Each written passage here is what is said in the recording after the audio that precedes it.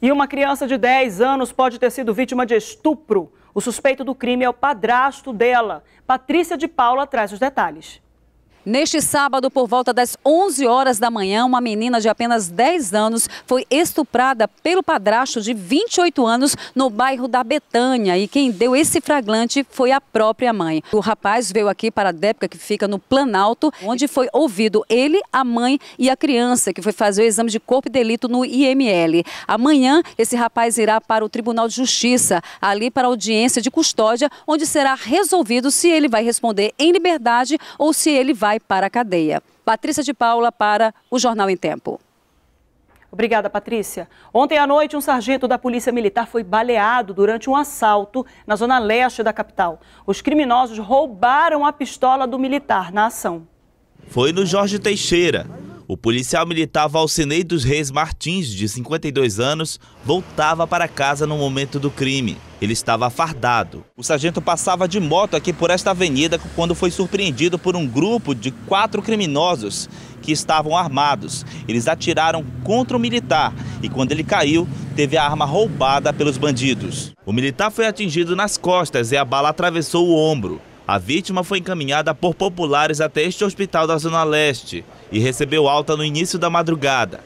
Os suspeitos fugiram em duas motocicletas. Nós agiremos de forma enérgica para coibir esse tipo de crime, principalmente contra a vida de quem, de um agente da lei, daquele que realmente está pronto para preservar, servir e proteger a sociedade. Policiais militares estiveram no local do ataque e conversaram com proprietários de comércios em busca de pistas pelos suspeitos. Câmeras de segurança da área devem ajudar a identificar os criminosos.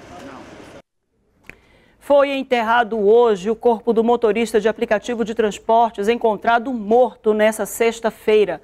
Familiares e amigos da vítima realizaram uma carreata para pedir mais segurança para os motoristas. O buzinaço e a fita preta simbolizam o protesto e a revolta. A categoria se reuniu para tentar chamar a atenção das autoridades. A carreata saiu no início da tarde de hoje em direção ao cemitério Tarumã, na zona oeste de Manaus, onde o motorista foi enterrado. Mais de 200 motoristas de aplicativos participaram da carreata hoje.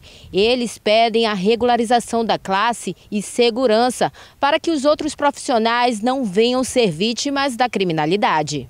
Sidney Barbosa foi assassinado enquanto trabalhava.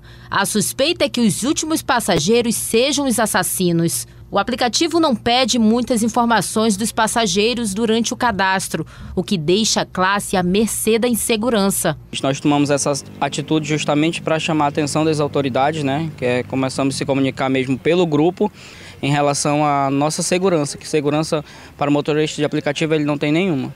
Os profissionais pretendem fazer outros protestos até que seja tomada alguma medida para solucionar a questão da insegurança dos aplicativos. Nós estamos à mercê, como todas as classes, como os taxistas, os mototaxistas, a população que está na rua todos os dias se escondendo o celular.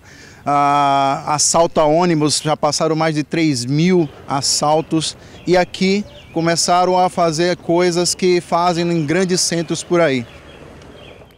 Centenas de estudantes participaram hoje da Olimpíada Brasileira de Robótica, que vai selecionar equipes para representar o Amazonas na etapa nacional, que acontece em João Pessoa, na Paraíba. Todos estão assim, sérios. Afinal, eles têm a missão de ultrapassar vários obstáculos para chegar onde desejam. Quem olha uma caixinha como essa, cheia de pecinhas, imagina logo que é de uma criança bem pequena que gosta de brinquedos de encaixe. Mas olha, dessas peças, sai aquele robô ali e ele está participando também, está competindo nessa Olimpíada Brasileira de Robótica. Esses robôs foram preparados para a Olimpíada Brasileira de Robótica e a fase estadual foi realizado aqui no SESI, na zona leste de Manaus. É um grande desafio reunir é, aproximadamente 300 alunos de 40 equipes de todo o estado do Amazonas, né? Nessa que é uma competição nacional e hoje a gente realiza aqui a etapa estadual. Dessa fase, um grupo vencedor do ensino fundamental e outro do médio vão ser os representantes do Amazonas na etapa nacional que vai ser realizada no mês de novembro, na Paraíba. E caso vençam no estado nordestino, viajam no ano que vem para os Estados Unidos, onde vão participar da etapa internacional. Esse grupo acertou os últimos detalhes. O Guilherme é quem estava no comando da equipe. Eles são estudantes de mecatrônica e eletrônica de uma escola particular. Eu, junto com meus companheiros de equipe, a gente tem muito interesse na parte de engenharia, de, de criação de tecnologia. Aí a Olimpíada Brasileira de Robótica é um, um grande portal para isso, para a gente conseguir ter, entrar nesse mercado de criação de novas tecnologias da parte da engenharia mesmo. E quem acha que só menino manda bem, se engana. A equipe Eureka é de uma escola pública e é formada só por meninas. Esse ano a gente montou a equipe, elas também tentaram ano passado, eu também tentei, né? Aí a gente montou agora juntas. A gente conseguiu entrar. Mas a torcida e a ansiedade não são apenas os competidores, não. Familiares e professores acompanharam tudo. E o mais importante é se divertir, né? A gente está aqui para se divertir, o que vier é lucro. Mas a gente está esperando uma medalhinha aí. Além de muito entusiasmo e vontade de ganhar, o que eles aproveitaram mesmo foi a troca de experiências.